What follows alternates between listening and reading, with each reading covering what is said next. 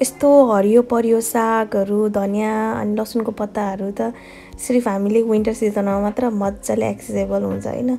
So आज चाहिँ मलाई एकदमै अन्डा करी खानु मन लागेको थियो अनि सो त्यसको लागि चाहिँ मैले साग धनियाँ लसुनको पत्ता सबै टिपेर सबै रेडी पारेको थिएँ।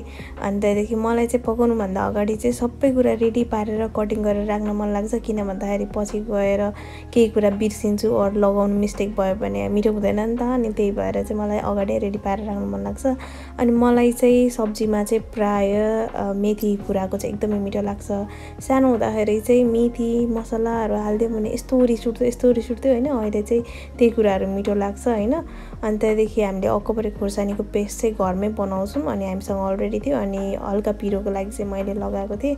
तपाईँहरू कतिजनाले चाहिँ अन्डा कडी यत्तिकै सागहरू नहाली अनि धनियाँको पत्ताहरू अनि लसुनको पत्ताहरू नहाली मनपर्छ होला तर मलाई चाहिँ सबै साग सब्जीहरू सबै मिक्स गरेर हालेर खान मिठो लाग्छ। अनि मैले चाहिँ आज सलाद खाने सागमा पुरै लगायो अरे होइन पुरै कोरियन तरिकाले खाँदैछु अनि एकदमै मिठो मिठो मिठो भएको थियो अनि a nice day.